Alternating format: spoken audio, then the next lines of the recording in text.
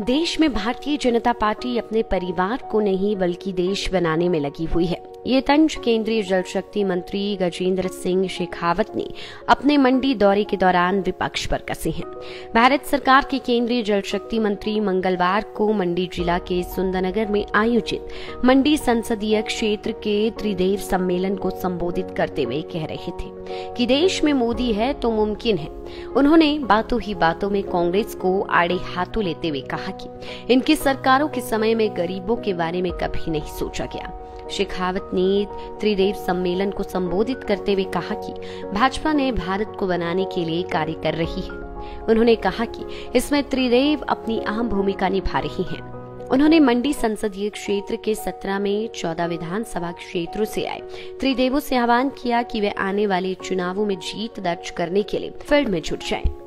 वहीं इस मौके पर हिमाचल प्रदेश के सीएम जयराम ठाकुर ने इस अवसर पर मौजूद मंडी संसदीय क्षेत्र के त्रिदेवों को संबोधित करते हुए कहा कि संगठन से ही सरकार बनती है और आने वाले समय में भी प्रदेश में एक बार फिर भाजपा कांग्रेस की सरकार बनने के रिवाज को समाप्त करने के लिए संगठन पूर्व की तरह बेहतर कार्य करेगा। आगे सुनिए और क्या कुछ कहना था सीएम जयराम ठाकुर का।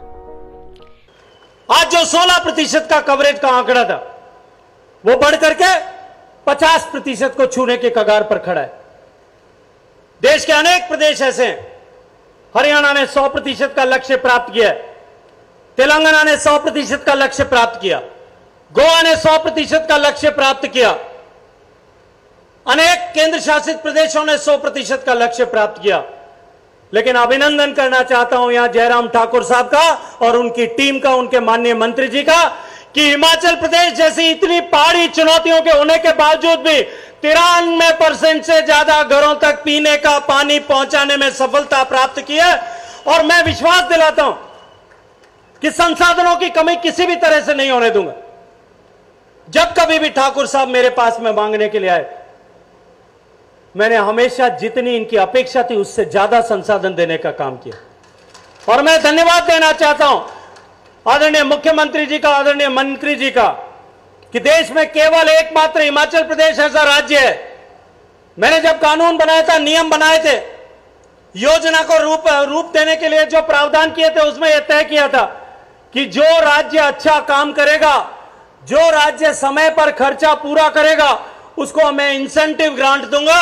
लगातार दो साल तक एक ही हिमाचल प्रदेश ऐसा प्रदेश है जिसने देश में इंसेंटिव ग्रांट ली और पिछली बार 2021-22 के बजट में साढ़े सात सौ करोड़ रुपए की एडिशनल ग्रांट जो है, वो हिमाचल प्रदेश को हमने दी। ये मोदी जी की सरकार है। यहाँ योजनाओं के लिए, यहाँ विकास के लिए, यहाँ इंफ्रास्ट्रक्चर क्रिएटेशन के लिए कभी धन की कमी नहीं हो सकती। मित्रों, ये माननीय मोदी जी के नेतृत्व में काम करने वाली सरकार। हम किसी परिवार को बनाने के लिए नहीं निकले। मोदी जी के नेतृत्व में हम देश को बनाने के लिए निकले। हम सौभाग्यशाली हैं कि हमारा नेता हमारा नेतृत्व चाहे पार्टी का नेतृत्व हो चाहे देश का नेतृत्व हो चाहे सरकार के नेतृत्व करता हो निरंतर 24 घंटे तीन सौ पैंसठ दिन अपने शक्ति का एक भी अणु और, और जहाँ तक शिमला में वाटर सप्लाई से संबंधित कुछ बातें की जा रही है देखिए, मैं एक बात बड़ा स्पष्ट करना चाह रहा हूँ कि एक दौर बहुत कठिन था जब भारतीय जनता पार्टी की सरकार को बने हुए तीन चार महीने का टाइम हुआ था। तो उस वक्त एक बहुत बड़ा संकट आया था और उसमें पूर्व सरकार की नाकामी थी क्योंकि इतना सारा लीकेज होता था और जो स्कीमों को ऑगुमेंट करने की ज़रूरत थी, उसके लिए ध्यान नहीं दिया और पानी का संकट हुआ। लेकिन उसी साल हमने तय किया कि अगले साल कभी पानी का संकट जो है, इस तरह का ना हो। सत्तर करोड़ रुपए हमने स्वीकृत किया और एक साल से पहले हमने उस योजना को, चाभा से पानी की स्कीम को शिमला के लिए बना करके तैयार किया और उसके बाद पानी का संकट नहीं हुआ।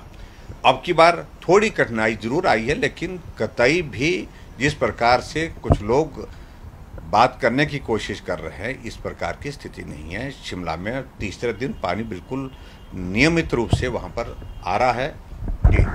आज मुझे इस बात की खुशी है कि एक बहुत महत्वपूर्ण निर्णय हुआ है और उस निर्णय का मैं देवभूमि हिमाचल प्रदेश और वीर वीरभूमि हिमाचल प्रदेश में अभिनंदन करता हूँ, स्वागत करता हूँ। अग्निपथ, एक नई जो है अनाउंसमेंट के नाते जो है वो सेना में नौजवान आए, नई ऊर्जा आए, नई ताकत आए, नए जोश के साथ वो काम करे, नई टेक्नोलॉजी के साथ जो है वो काम करे।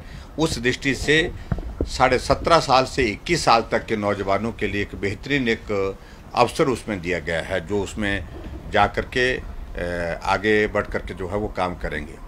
और उसमें ये भी तय किया है कि तीस हज़ार रुपये उनको मान दे दिया जाएगा सैलरी सैलरी दी जाएगी।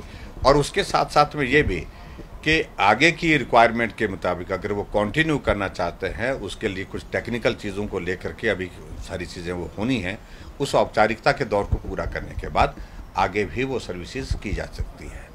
और देश की सेना को ताकत देना, देश की सेना को मजबूती देना एक जो बहुत बड़ा लक्ष्य है, हमारे प्रधानमंत्री जी ने तय किया था, उसको मुझे लगता है कि इसके माध्यम से सफलतापूर्वक हासिल करेंगे।